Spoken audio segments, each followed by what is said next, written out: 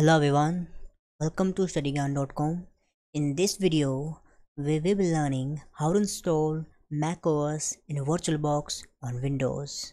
This is the step-by-step -step guide for installation of macOS on Windows. Watch this video till the end to get the 100% success. But without further delay, let's get started. Since we're installing the macOS in VirtualBox, we have to enable hardware virtualization. Let's go to the task manager. Here go to the full screen and now performance. You can see here virtualization is ena enabled. Now by default this feature is enabled and allows you to run and test any operating system in a virtual environment. If it's not enabled, you need to check the BIOS setting and turn on hardware virtualization. Once it enabled, you can verify the status using Windows Task Manager. It's time to install the macOS in a VirtualBox on Windows. So go to the browser and search here VirtualBox. Here is the official link from the Oracle. Let's click to it. And this is the interface for the website and go to the downloads button here you can see the windows mac os linux and solaris all are hosts. We have the window host. Let's click on it. Here it asking for the location. Let's save it. Here the download starts for now. Scroll down and virtualbox extension pack. Let's download it. Here is the asking for the location. Let's save it it is around 17.5 MB now let's go to the new tab and copy the link from the description box and paste it here for the macOS ISO file. And now you can see this kind of interface and let's scroll down. And here you can see download options ISO image macOS and torrent. And click to the ISO image you can see the old versions like ventura and big sur we have to download the big sur because it is stable and working fine. Let's click to it. Now asking for the locations like big sur iso file. Let's save it. And there is around 13 gb so I have already downloaded it so I have to cancel it.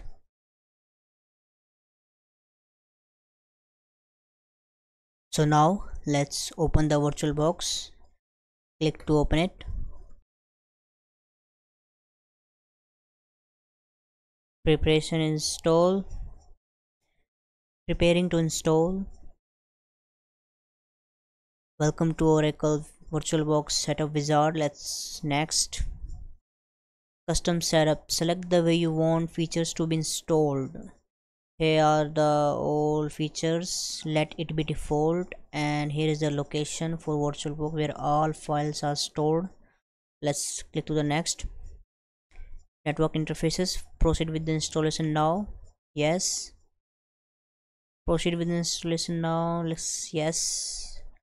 Ready to install. Click install to begin the installations please wait while for here.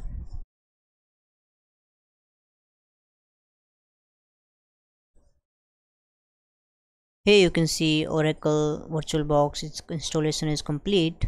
Let's finish it. For now before go to the virtualbox we have to disable the hyper-v from the windows security. We disable it because we don't want any conflicts in virtualization of third-party programs so let's go to the windows security. Here search windows security. And you can see here device security. Go to the settings. Here you can see the memory integrity is off. Your device may be vulnerable. It make sure it is turned off. Okay. So let's go to the cmd and run as administrator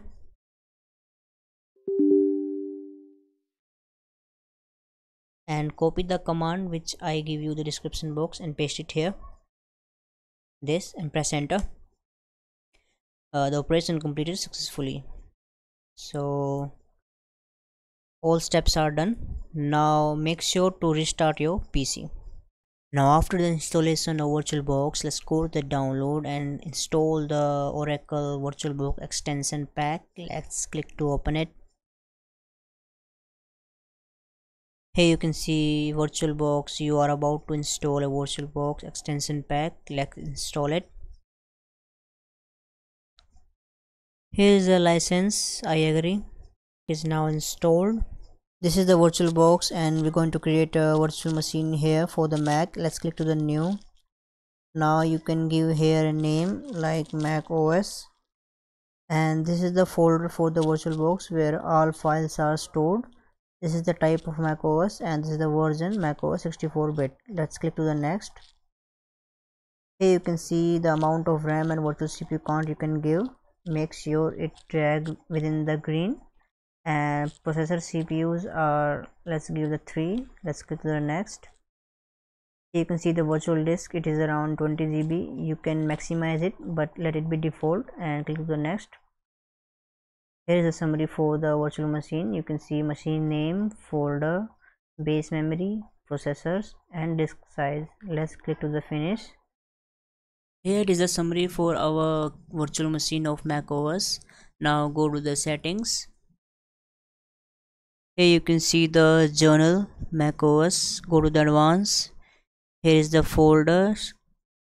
Click to the shared clipboard to the bidirectional and drag and drop also bidirectional. Here description disk impression let it default. Go to the system here. And it is the base memory you can see uh, and uncheck the floppy here. And make sure chipset is ICH9 okay. Let's go to the, the go to the display here. You can maximize the video memory and graphic controllers this and enable the 3d acceleration for the better graphics. And now go to the storage. You can see here control SATA. Let's click to the empty and press on the disk icon. Go to the disk file. Here's our Big Sur ISO file 13 GB open it and you can select the audio let it be default. Go to the network here is our network adapter. But go to the adapter 2 for the backup and select here the enable network adapter. And select the bridge adapter. Now now go to the USB and make sure it is USB 3.0 and let all be default and go to the ok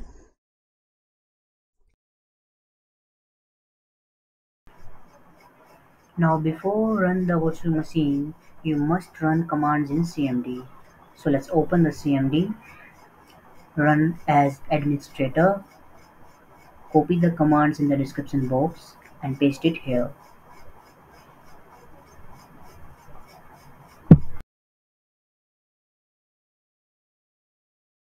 So now our virtual machine mac os is complete ready. Let's begin to start.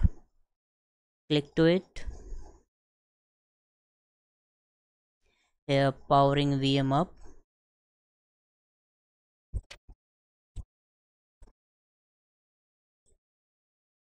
Here you can see the select the language. Let's click on the yes. Now for the mac os recovery you have go to the disk utility and click to continue it. Now go to the vbox media here and select the edit and press erase erase it. Give the name like mac os disk and erase it. Now done. Now press the red button here and go to the install mac os continue it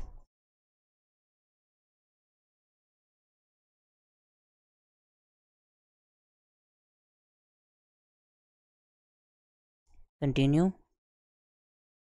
Here is the license and agreement. Agree. Agree. Here is the disk our 42 GB let's continue it. Now the installation start now follow the all instructions carefully step by step guide to use the Mac OS in your Windows